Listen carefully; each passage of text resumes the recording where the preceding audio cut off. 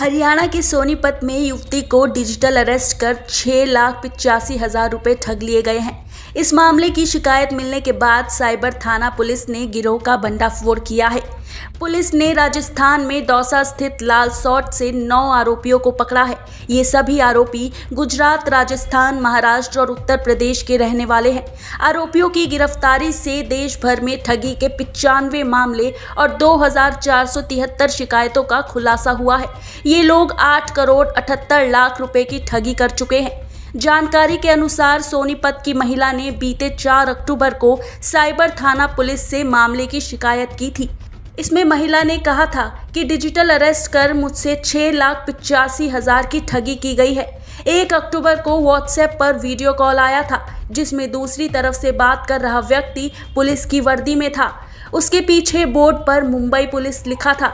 उसने कहा था कि आपके एसबीआई के क्रेडिट कार्ड पर बड़ी राशि बकाया है। जब महिला ने कहा कि मेरे पास एसबीआई का क्रेडिट कार्ड नहीं है तो उसने कहा कि क्रेडिट कार्ड का गलत लेन देन में प्रयोग हुआ है।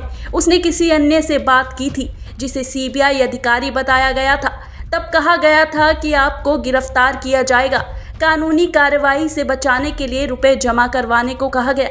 महिला को डराया कि उनका नाम पूर्व बैंक प्रबंधन विनय के मनी लॉन्ड्रिंग के मामले से जुड़ा है। यह भी डर दिखाया कि उनका मामला राष्ट्रीय सुरक्षा से जुड़ा है।